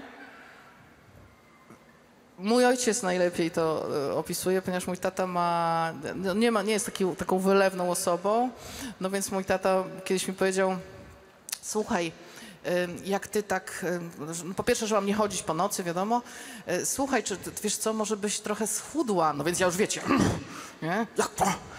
Ale nie, nie, nie, nie, że tu coś źle, tylko słuchaj, no bo wiesz, jakby się coś stało, to ty nie będziesz miała jak uciekać. I wiecie, i to jest zabawne, nie? W sensie, że to jest właśnie takie jakby to wyobrażenie, a z drugiej strony to znaczy, że mój ojciec boi się, że ktoś mnie zabije, nie? Że, że on mi w ten sposób mówi, że on o tym myśli, że on się tym martwi, że on się boi, że ktoś mi zrobi krzywdę i on mi w ten sposób o tym mówi. No więc to są takie momenty rzeczywiście czasem ciężkie. Prawda też jest taka, że czasami nie mieszkałaś u siebie w domu. No nie. Koledzy wychodzą pod ciebie do pracy. No, istnieje No, bywa takie różnie, no. Bywa Bywa różnie. Jest jeszcze jedno pytanie ze strony mojeasp.pl. Jak znajduje Pani motywację do działania? Mam wrażenie, że wszystko dzieje się poza mną. Jak brać motywację do optymizmu i wiary? Ja mam tę, tę łatwość, że mam tę cząstkę przekonania, że będzie dobrze i nie wiem skąd. Jak brać motywację? Nie ma uniwersalnego sposobu. Moim zdaniem na pewno warto odpuścić, ponieważ my mamy kłopot chyba wszyscy z odpuszczaniem sobie, nie? Czyli sobie stawiamy takie wymaganie, powinnam być zmotywowana i powinna myśleć, że wszystko będzie świetnie. E, Ale to jest powiązane też z tym, że mamy bardzo duże wymagania w stosunku do innych ludzi. I zatem się też może kryć takie coś, że ludzie coś powinni właśnie, że ludzie coś powinni jakoś. I sposobem na to, żeby może odpuszczać trochę sobie, jest też odpuszczanie innym ludziom. Czyli takie zakładanie, że każdy chce dobrze, że każdy robi tyle, ile może, że, że dokładnie no, co się zadzieje, to, to się zadzieje. E, Ale to motywację każdy ma, wiecie, każdy ma w sobie. Zresztą jak się posłucha historii naszych strajkowych, dlaczego ludzie się angażują, dlaczego uczestniczą w protestach, dlaczego robią to, co robią, to każda jest inna. Każda jest absolutnie inna. Ja myślę, że to u mnie ta motywacja wynika z tego, że jestem realistką wbrew pozorom, czyli właśnie nie wierzę w to, że, że, że będzie tak jak na filmie, że wyjdziemy, zrobimy i już będzie pięknie. Absolutnie nie. Dostaniemy łomot jeszcze 100 razy, wściekniemy się, będziemy rozczarowani, y, przejdą nam koło nosa jakieś różne świetne okazje na to, żeby coś było jakoś. Będziemy na siebie wściekli, popełnimy mnóstwo błędów, podejmiemy złe decyzje i to wszystko jest częścią tego procesu. Argentynki walczą, wywalczyły sobie legalną aborcję po 15 latach, za dziewiątym podejściem. Wyobraźcie sobie taki proces, uczestniczenie w takim procesie, a to dotyczy tylko jednego postulatu, czy to dotyczy jednej sprawy, a my mamy do zrobienia całą masę innych rzeczy. I oczywiste, że to jest proces. I oczywiście, że to będzie trwało. I to jest to, co mówi nasz wrocławski Władysław Frasyniuk, że to nie jest tak, że za komuny 20 milionów ludzi stało na ulicy i krzyczało precz z komuną. Był taki moment, że w więzieniu siedziało 300 osób, a reszta żyła, jeździła na wakacje, miała dzieci. Więc no my jesteśmy troszkę momentami w takiej właśnie sytuacji. To jest normalne i trzeba to przyjąć, trzeba z tym żyć i trzeba odpuścić sobie i innym, bo naprawdę jak przychodzi czas, to rzeczy się dzieją. Trzeba być przygotowanym. My odpowiadamy za to, żeby było właśnie organizacyjnie, narracyjnie, me- medialnie i tak dalej. Ale jak się będzie działo, to się będzie działo. Nie ma co się frustrować niepotrzebnie. Nie ma co wstawać rano i mówić, no nie, znowu ta Polska. No jest jak jest, na razie jest jak jest. Zapraszamy do zadawania pytań, proszę bardzo. Dzień dobry. E, Mam na imię Karolina i ponieważ moje pytanie to będą trochę gorzkie żale, to pozwolę sobie na trzy słowa o sobie, żeby oddać, być sprawiedliwą najpierw. Więc po pierwsze światopoglądowo absolutnie lewak, po drugie zaślubiona mężowi przed Bogiem, ale polskiego kościoła to dziękuję. E, Zdecydowanie uważam, że aborcja jest prawem i to, że musimy w tym kraju o tym rozmawiać i że ktoś musi o nią walczyć, to nam uwłacza. Ale też to, co w tej sytuacji chciałabym, żeby to było dla wielu osób jasne, jest bardzo ważne. Tu jest 15-tygodniowy człowiek, bo chciałam, bo mogłam, bo ja miałam taką chęć. I to jest bardzo istotne, że robimy to, co chcemy, a nie to, co mamy innym wyznaczyć. I przechodząc do mojego pytania,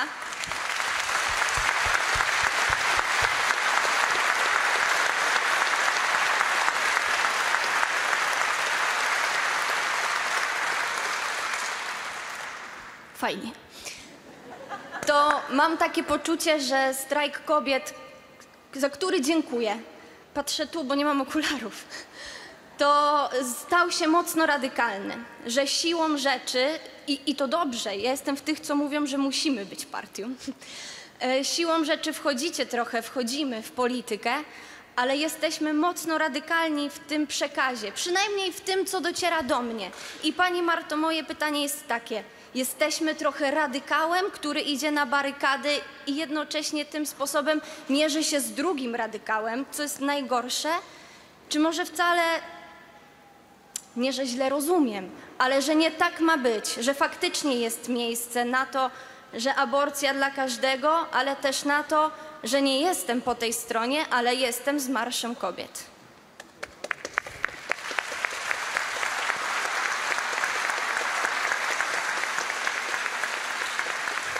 Punktu, z punktu widzenia normalnej polityki, my jesteśmy, użyję tego słowa, chociaż go nie, nie, nie, nienawidzę, jesteśmy formacją absolutnie centrową. Prawo do aborcji jest prawem człowieka. Prawa osób LGBT są prawami człowieka. Życie w państwie, które ma politykę społeczną, a nie gdzie resort polityki społecznej dostaje ten słabszy koalicjant, żeby się pobawił, razem z kulturą w pakiecie najczęściej, jest absolutnie centrowym standardem. E, To, w jaki sposób się wyrażamy, jest naszą decyzją w każdym miejscu, gdzie strajk istnieje. E, I ja na przykład, jak jeżdżę gdzieś, jestem zapraszana na różne de- demonstracje, pikiety, spotkania, to zawsze też pytam organizatorek, czego one oczekują, jak one to widzą, jak to u nich jest. I one czasem mówią, my, no my na przykład nie mówimy wypierdalać. Ja mówię, no dobrze, to jest ich decyzja. I że mamy taki obraz rzeczywiście w mediach, wiadomo, no media też pokazują duże miasta chętniej, a w dużych miastach jest trochę inaczej. To wynika z tego, że to musi się, to, musi, to musiało wybuchnąć musiało się przewalić. Czyli tak długo ludzie milczeli w sprawie tego, że ich głos jest niesłyszalny, że teraz jesteśmy na takiej górce, jeżeli chodzi o te emocje cały czas. Yy, I jeżeli chodzi o ekspresję. My ten baner, który słynny z tym brzydkim słowem, który zaniosłyśmy pod trybunał wtedy tego 22, yy, myśmy go przygotowały do innej akcji, on miał gdzieś wisieć na jakimś budynku. I to nie jest tak, że my tam poszłyśmy i powiedziałyśmy ludziom, od teraz ten język się zmienia i teraz będziemy przeklinali i w ogóle teraz jest inaczej, bo nam jakiś tam stratek podpowiedział. Gdyby ludzie nie czuli tego i nie czuli się w tym i z tym słowem dobrze, to ten baner by tam został na chodniku. Nikt by go nie niósł 13 kilometrów na Żoliborz. Nikt. My mogłybyśmy sobie tam z, sobie stać z, z, z, dziewczynami w pięć osób i tam zagrzewać. To akurat był taki moment, że tak się zadziało, że ten język się zmienił, ale to jest efekt, efekt e, takiej opresji też, jeżeli chodzi o ekspresję, o sposób działania. To trochę przypomina mi sytuację właśnie z osobami głuchymi. E, W Polsce są dwa języki migowe. Jeden to jest system językowo-migowy, taki opracowany przez osoby słyszące, żeby było wygodnie i prawdziwy polski język migowy, który był tłamszony całymi latami. To były dziesiątki lat, kiedy on był tępiony. I w momencie, kiedy się ten polski język migowy został uznany, to też wybuchło. I o, o tych ludziach, którzy go używają i którzy są zaangażowani w promowanie go, też można powiedzieć, że są radykalni. No ale to się nie dzieje bez przyczyny. To jest efekt wielu, wielu lat opresji yy, i tego, że, że nie mogli powiedzieć nic, a teraz wreszcie mogą, czy tam, że mogą od kilkunastu lat. Więc ja tak to widzę. Ja, ja myślę, że przed nami jest wielka praca cały czas, żeby się wszyscy zmieścili, czyli żebyśmy też pozwalały sobie na przekleństwa w tych grupach, w których tego akurat potrzebujemy i żebyśmy się wyrażały zupełnie inaczej i robiły zupełnie inne rzeczy w tych grupach, w których tego nie potrzebujemy i nie chcemy. Natomiast ja mogę od razu powiedzieć, że nigdy nie będzie tak, że będzie jakiś prikaz z góry, że to robimy, a tego nie. To się u nas nigdy nie udało i to się nigdy nie uda. U nas są osoby, które robią wystawy dotyczące stulecia praw kobiet, no i ktoś, kto rzuca jajkami w samochód premiera. I tak będzie. I to nie jest moją rolą, ani nikogo z nas mówić, że odtąd dotąd, a już tutaj to nie można. Wszystko, co jest, nie, nie, nie, nie sprowadza się do używania przemocy, jest dopuszczalne i ludzie wiedzą, co robią. Akurat teraz ludzie chcą tak i trzeba to przyjmować ze spokojem. Mimo tego, że my same na przykład byśmy czegoś nie zrobiły. To jest ciągle to, że my mamy granice swoje i chcielibyśmy, żeby ludzie mieli takie same. Nie no, ludzie mają granice w różnych miejscach i musimy do siebie nawzajem podchodzić ze spokojem. To z czym pójdziemy do tej drugiej kontry? Z tym, żebyśmy się dogadali, czy z tym, że wszystko albo nic? Zależy o jakiej kontrze mówimy. Rządowej. A, rząd, myślałam, że. Bo jeżeli chodzi o faszystów, to tu nie ma z czym iść. Tutaj nie będzie. nie gadamy. No właśnie. 28% wyborców PiSu popiera strajk kobiet. 28%, słuchajcie. I to wynika z tego, że wszyscy jesteśmy ludźmi, albo oni są razem z nami osobami, którym ktoś powiedział, że twój głos się nie liczy. Że jesteś za mało fajny, za mało umiesz, za mało wiesz, masz za mało pieniędzy. I w ogóle wypad, nie psuj krajobrazu. My tu się zajmujemy ważniejszymi rzeczami. To jest baza porozumienia, bo zobaczcie, że tak wysoki wskaźnik, mimo tego, że my jesteśmy no, mniej lub bardziej antyklerykalne, a mówimy o grupie, która jest mocno prokościelna, to znaczy, że dokładnie to jest to, na czym trzeba bazować, że tak samo oni, jak i my ucierpieliśmy z tego powodu, że Polska nigdy nie pozwoliła sobie na politykę społeczną z prawdziwego zdarzenia. Na to, żeby prawa człowieka gdzieś były jednak tym filarem demokracji. I to jest ta rzecz, na której możemy zbudować wszystko, jeżeli się do tego przyłożymy i przestaniemy pogardzać też sobą nawzajem. Ogromnym problemem na, dla mnie po naszej tak zwanej stronie jest to, jak ludzie mówią o osobach, które korzystają z różnego rodzaju świadczeń. Jak się mówi po naszej stronie o, o 500. To jest szczyt pogardy. I to mówią osoby, które nie doświadczyły biedy, nie wiedzą, jakie to jest upokorzenie, niczego nie rozumieją i to mnie bardzo denerwuje. I musimy przestać. Musimy przestać. Dziękuję bardzo. Bardzo- Ja wezmę, to moje 500. Bardzo dziękujemy. Zapraszamy. Cześć, e, Dorota. Przyjechałam z Łodzi. E, tak, od października mamy okazję zobaczyć wielką siłę kobiet i solidaryzujących się z nimi mężczyzn. I no, mogliśmy to zobaczyć, że większość kobiet, które wyszły na ulicę, to był ruch bardzo spontaniczny, oddolny. Ja miałam też taką potrzebę, niezależnie od organizacji, która to, znaczy nie, nie, nie, niezależnie od organizatora. Dość szybko jakby te wszystkie protesty zaczęły być organizowane pod szyldem strajku kobiet. I tutaj moje pytanie, bo jestem z Łodzi, więc w Łodzi silnie działa organizacja Dziewuchy Dziewuchom. I chciałam się zapytać, jak wygląda współpraca właśnie strajku kobiet z innymi organizacjami e, kobiecymi. My wspieramy każdą grupę lokalną działającą na rzecz praw kobiet, czy ona się nazywa Dziewuchy Łódzkie, czy się nazywa Nic o nas bez nas, czy się nazywa Nie składamy parasolek, czy się nazywa Strajk Kobiet Wrocław. Nie ma to dla nas żadnego znaczenia. Każda dostaje wsparcie, jeżeli go potrzebuje. Finansowe, logistyczne, organizacyjne. To jest nasza rola. My nie jesteśmy zarządem, my jesteśmy helpdeskiem. E, Z nozłuskimi dziewuchami oczywiście, że współpracujemy, no bo, bo one organizują protesty w Łodzi, no to jest dokładnie to. To jest ta grupa lokalna, która jest naszą, gru, naszą grupą lokalną, znaczy nie jest naszą grupą lokalną, ale to jest ta grupa w Łodzi, z którą współpracujemy. To jest dokładnie to.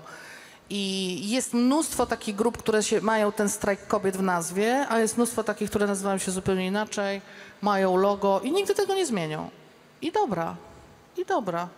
I tak już będzie. I niech, tak, I niech to się tak dzieje. Mnie jest absolutnie wszystko jedno, bo to nie jest nasza rola. To nie jest nasza rola, żeby mówić ludziom, jak się mają nazywać na przykład. No. Ale to jest ciągle to. I ja widzę, że to, na przykład z tego pytania też wynika coś, co, co, co cały czas taką daje mi refleksję, że nadal bardzo trudno jest przekonać ludzi, że żeby dostać, że, że wsparcie wam się należy, jeśli robicie i tu żadnych warunków więcej nie trzeba. Nie musicie się nazywać strajkiem, nie musicie być z nami w jakimś ścisłym kontakcie. Jeżeli ludzie nam wpłacali pieniądze w październiku i w, i w listopadzie, to te pieniądze są wasze i one wam się należą. My jesteśmy przekaźnikiem, ale ta nieufność nas jest, tak? Że może jednak należałoby może tam jakoś bardziej porządnie. Nie, tak nie jest. I to jest to, to, to przesłanie, z którym od, od lat tak naprawdę ja też jeżdżę po Polsce. Że, na, że, że to, to jest minimum przy współpracy, to jest to, że mamy wspólne postulaty i nie używamy przemocy. Cała reszta jest wtórna. Tak naprawdę cała reszta jest wtórna. Bardzo dziękujemy. Jeszcze jedno pytanie. Przy okazji informacja z ostatniej chwili. Polki mają złoto w sztafecie 4 razy 400 Brawo dziewczyny! Bardzo proszę.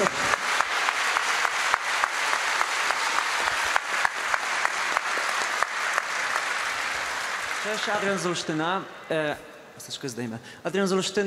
Na wstępie chciałbym bardzo, bardzo podziękować za te słowa o ludziach pokrzywdzonych ekonomicznie, o, o tych, którzy pobierają świadczenia. To, że PiS wygrał, myśl, moim zdaniem, e, wynika z tego, że ci ludzie byli zaniedbani, bo byli ofiarami transformacji, więc, więc bardzo dziękuję za te słowa. E, Co nam się dzieje? Nie wiem, chłopaki, nieważne, nie, wszystko jest pod kontrolą. E, więc widzę. przechodząc już do pytania, e, troszkę, troszkę poruszony był wątek tych wewnętrznych podziałów i chciałbym zapytać o to, e, no właśnie, czy nie za bardzo się trochę dzielimy, bo na przykład podejście do, do lewicy, która no, de facto dogadała się z rządem w sprawie funduszu odbudowy. Pamiętam ten niefortunny tweet i czy mogłabyś się ustosunkować do tego, co myślisz o tym po, trochę z perspektywy czasu?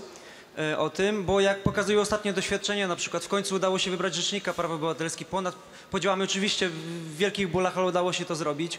Em, no właśnie, czy ten fundusz odbudowy, Lewica moim zdaniem ugrała, okej, mało, ale ugrała jednak konkretne y, jakieś, jakieś punkty. Powiedziałeś, że 28% wyborców PiSu popiera strajk kobiet, a może gdybyśmy nie, za przeproszeniem, jebali PiSu na każdym kroku, to może byłoby to więcej i może byśmy faktycznie odebrali władzę temu ugrupowaniu. To jest dużo pytań.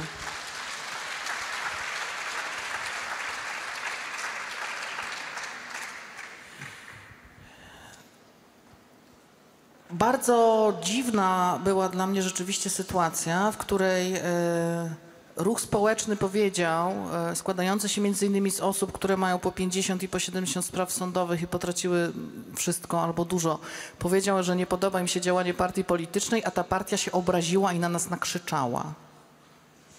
Chyba tak nie powinno być.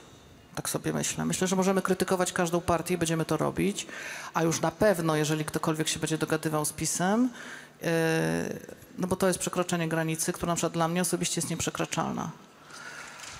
Ale Ale tu wracamy do naszej kultury politycznej, tak? Czyli sytuacji, w której partia polityczna obraża się na ludzi i na nich próbuje nakrzyczeć. Bo taka sytuacja akurat to była, ale mamy to za sobą. My współpracujemy zresztą przecież w komitecie Legalna Aborcja bez kompromisu. Właśnie nam rusza zbiórka, więc to są takie trochę kłótnie w rodzinie, można powiedzieć. E, tutaj, ale cieszę się, że tak naprawdę trochę się cieszę, że to się zadziało, no bo właśnie na jaw wyszło to, że partie polityczne chyba sobie właśnie wyobrażają, że mogą nam mówić, że czegoś nam nie wolno powiedzieć, albo czegoś nam nie wolno zrobić, albo jak z nimi dobrze żyjemy, to nie możemy ich krytykować. Nie, no zawsze będziemy ich krytykować, jeżeli nas denerwują. Natomiast co do tego hasła,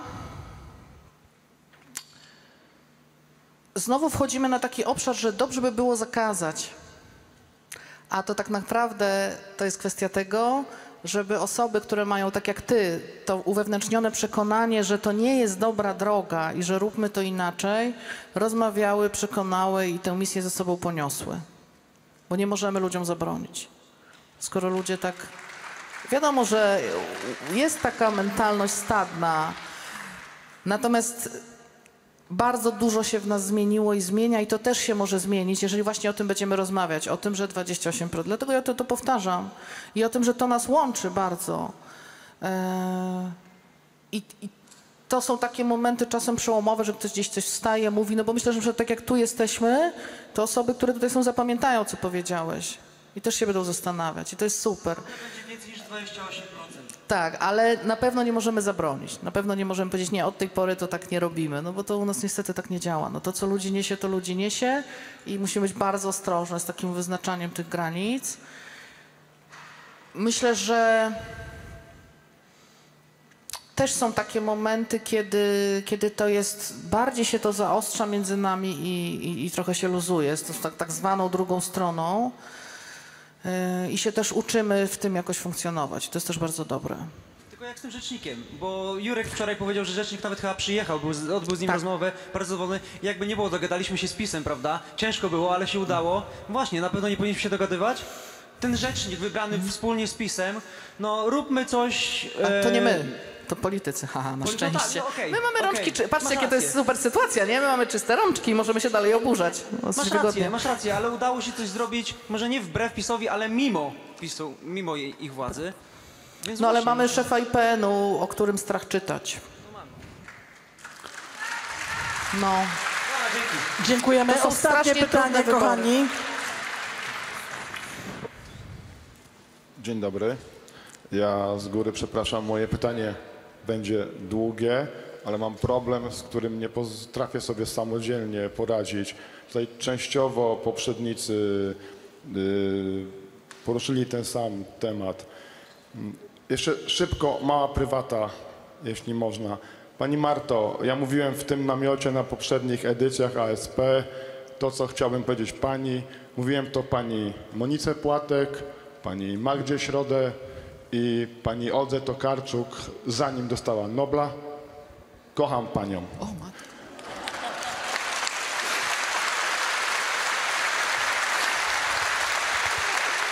No co pan?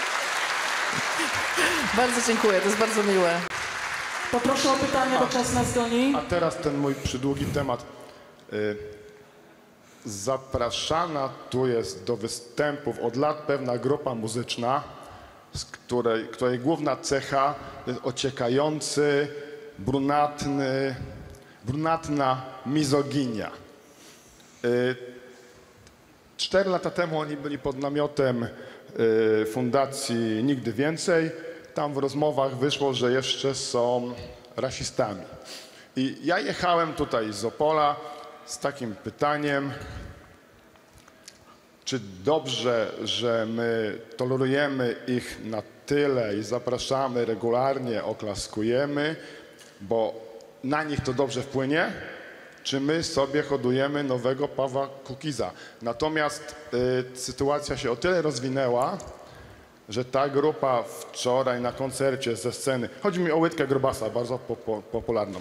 Ta grupa wczoraj ze sceny powiedziała, nie krzyczcie hasła nie bać PiS, ponieważ uczestniczymy w ten sposób w jakimś ich sporze. Są dwie grupy, które mają spór, a my nie powinniśmy się w to włączać. I teraz dzi- dzisiaj doszły do tego tematu jeszcze dwa fakty. W namiocie kod zdjęto baner z pięcioma gwiazdami, a wczoraj na warsztatach artystycznych artysta, plakaciarz, pan Szymon, zdjął jeden ze swoich dzieł plakatów, ponieważ widniał na nim napis minister. y, jak? Jak? I je banana, coś takiego. Banany. I chciałem poznać Pani Czy my nie za bardzo się jednak cofamy, bo tu za rok nie będzie można nosić tęczowych barw lub cokolwiek innego? Marta? Jeżeli chodzi o faszyzm w jakiejkolwiek odsłonie i nienawiść, to nie ma dla mnie wytłumaczenia. W sensie nie da się oswoić faszysty. Nie da się, moim zdaniem. Ale.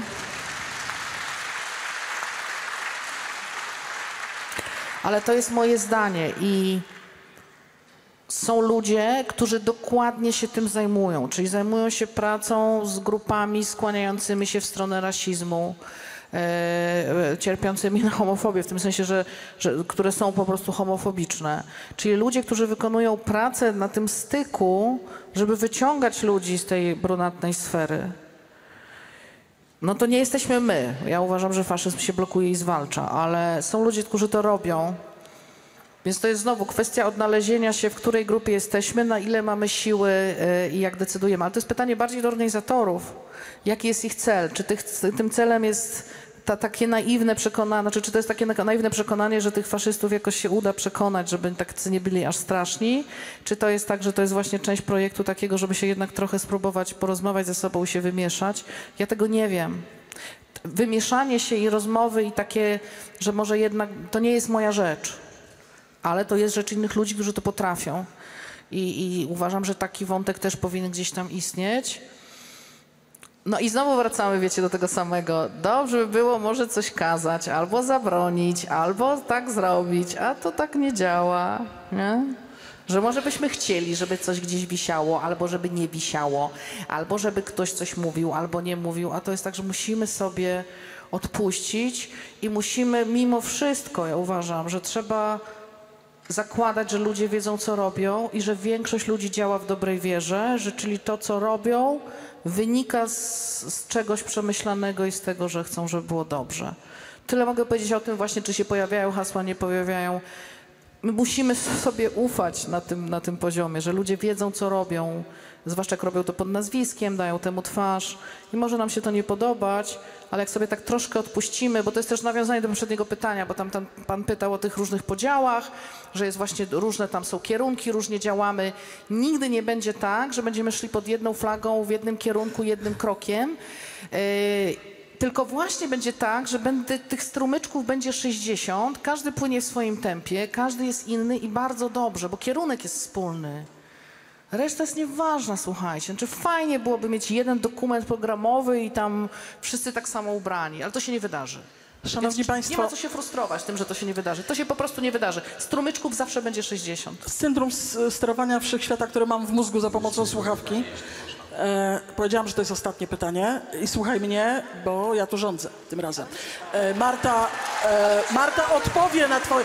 Nie, Marta odpowie na twoje pytanie za chwilę. Kończy się w tej chwili relacja e, wystąpienia e, Marty Lempart e, na spotkaniu z wami, dlatego obowiązuje nas czas. A ja jestem tak jak pies telewizyjny, muszę skończyć o czasie. Właśnie jest ta minuta. Bardzo Państwu dziękujemy. Marta Lempart była Państwa gościem, a na twoje pytanie odpowiemy.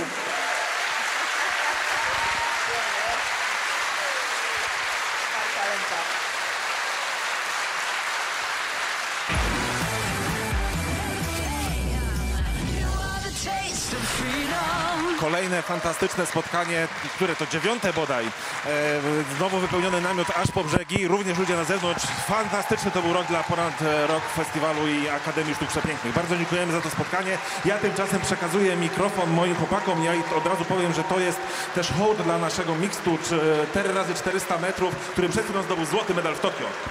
A przekazujemy sobie właśnie jak pałeczkę w sztafecie złoty medal. Wielki hałas nie tylko dla naszych gości, ale także dla naszych złotych olimpijczyków w najbardziej równoprawnych zawodach w sztafecie mieszanej. Wielkie brawa. No i czekamy na kolejne medale, ale już za niedługo przecież ruszamy na dużą scenę podczas Poland Rock Festival.